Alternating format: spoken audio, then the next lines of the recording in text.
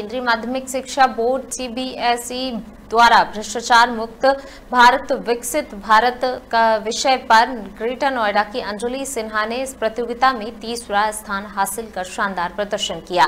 CBSE ने 3 से 11 अक्टूबर तक पूरे देश में हिंदी निबंध लेखन प्रतियोगिता भ्रष्टाचार मुक्त भारत, विकसित भारत का आयोजन किया था। इस आयोजन में सात लाख छात्र सम्मिलित हुए। निबंध प्रतियोगिता में जीती हुई ट्रॉफी और सर्टिफिकेट के साथ अंजलि काफ़ी खुश नज़र आ रही हैं। लाइन कॉन्वेंट स्कूल की दसवीं की छात्रा अंजलि सिन्हा कहती हैं सीबीएसई बोर्ड ने देश के सभी स्कूलों में 3 से 10 अक्टूबर तक राष्ट्रीय स्तर की निबंध प्रतियोगिता का आयोजन किया था। इसका मुख्य विषय भ्रष्टाचार मुक्त भारत विकसित करना था।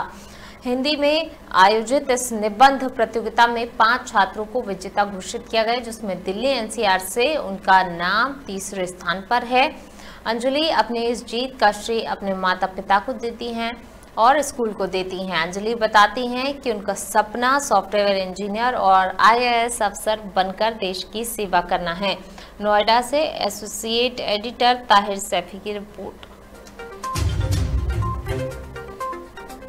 और मैंने CBSE CBC S C writing प्रतियोगिता में भाग लिया था। जी आ, ये प्रतियोगिता तीन से दस अक्टूबर के बीच में हुई थी और इसका अवार्ड मुझे तीन नवंबर 2022 यानी कि कल आ, हमारे देश के माननीय प्रधानमंत्री जी श्री नरेंद्र मोदी जी से मिला है मुझे।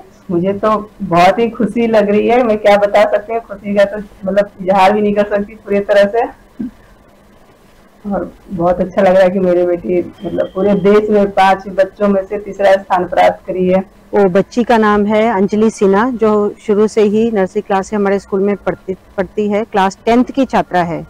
और उन्होंने ये ऐसे राइटिंग कंपटीशन जो नेशनल लेवल पर हुआ था, जिसमें around seven lakh plus students ने पार्टिसिपेट किया था, उसमें उन्होंने तृतीय स्थान उन, उन्हें हासिल हुआ